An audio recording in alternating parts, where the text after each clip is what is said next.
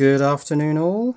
Now I've got a couple of uh, 1 meter strips here with the APA 102 pixel addressable RGB LED.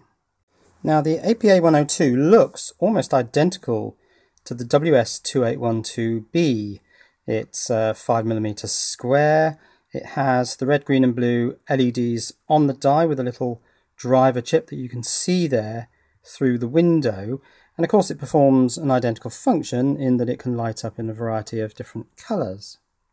But the similarities end there, and there are really quite substantial differences in the way that you drive these LEDs. You can probably see one of them, which is that uh, the WS2812B has a single data line. So this will be VCC up here, ground, and this single one-wire data line. The APA 102 has two data lines, uh, clock and data, and it's driven in a very, very different way.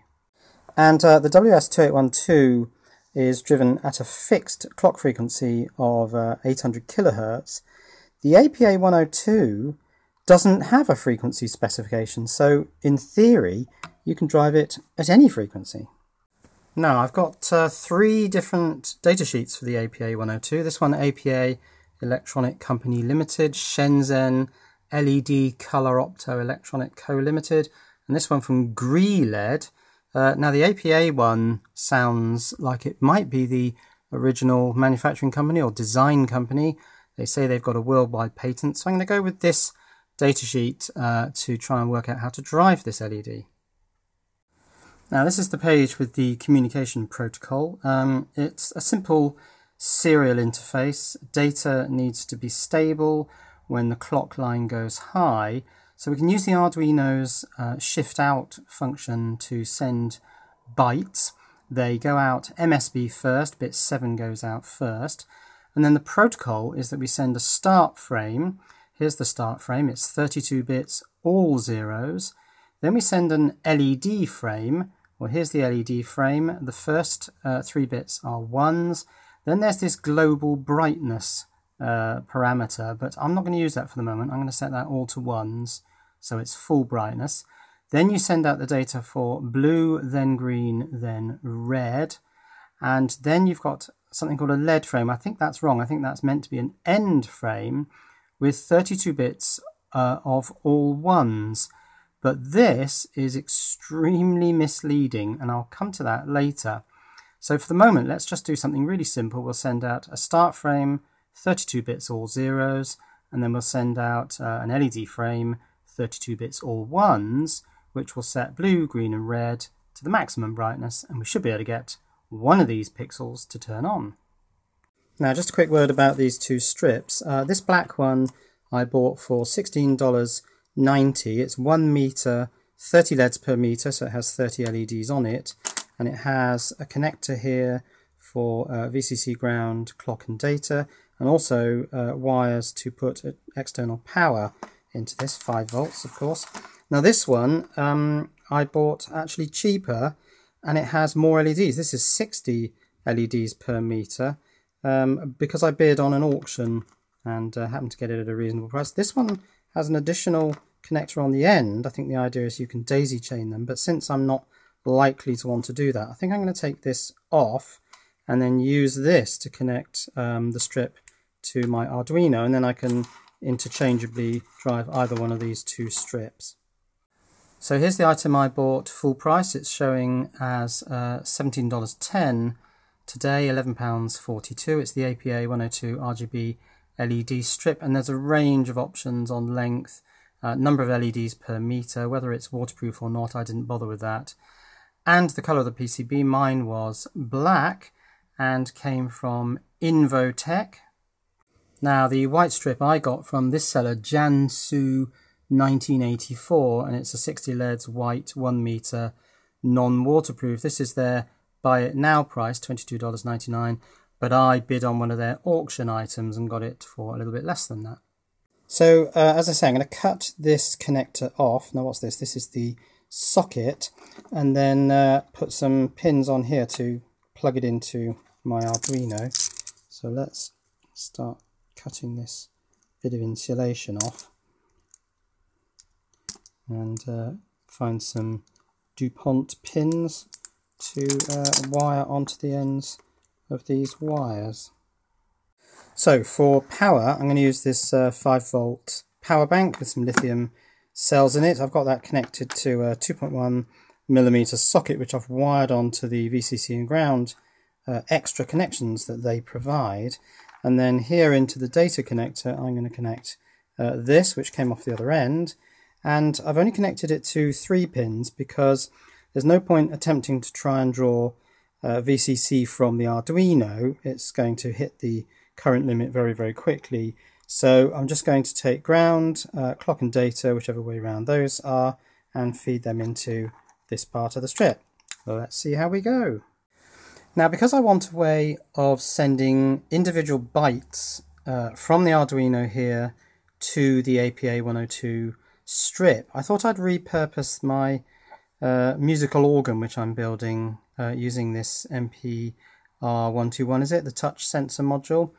Um, I've got the piezo so that I can have a beep and I've set it up so that I've got uh, a byte of zeros on that coin. These are the uh, Japanese 50 yen coins and a byte of all ones on this coin. So zero, one.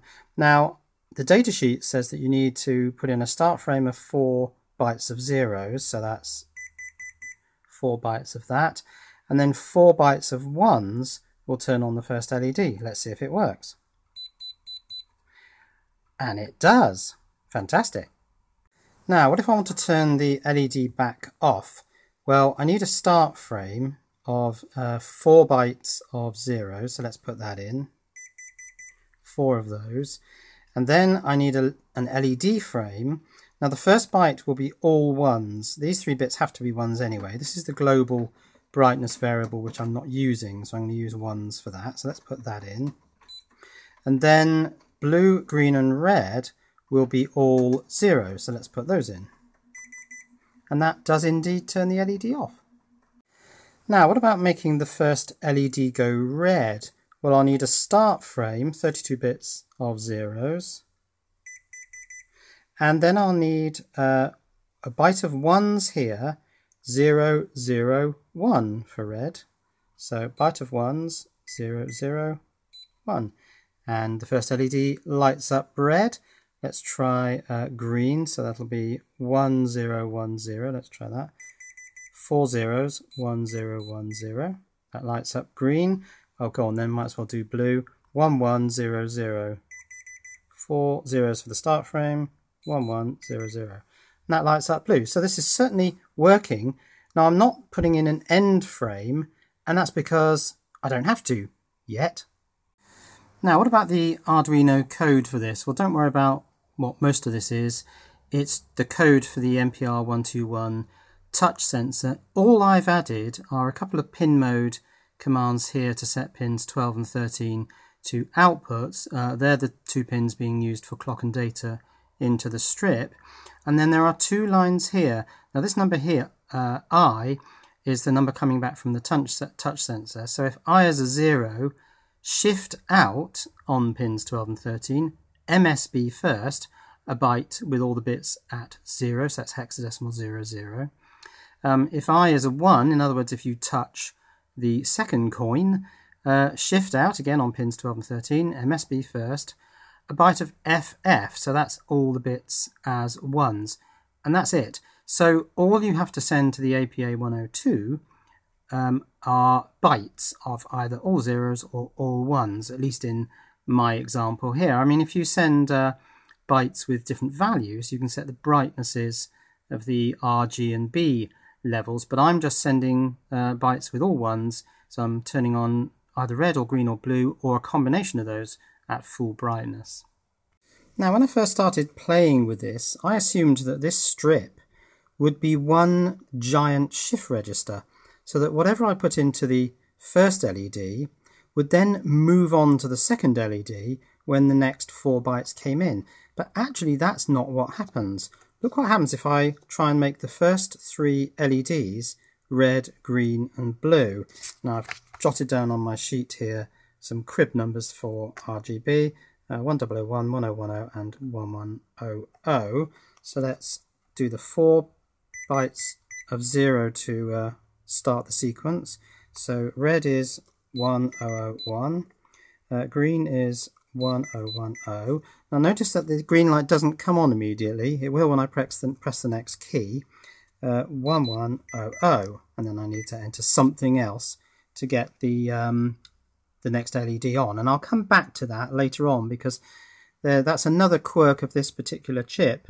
Um, interesting uh, fully understandable but just a bit weird. So there we are red green blue. Now I put those in in the sequence red green blue. So the first LED's value didn't shift down to the second LED and so on.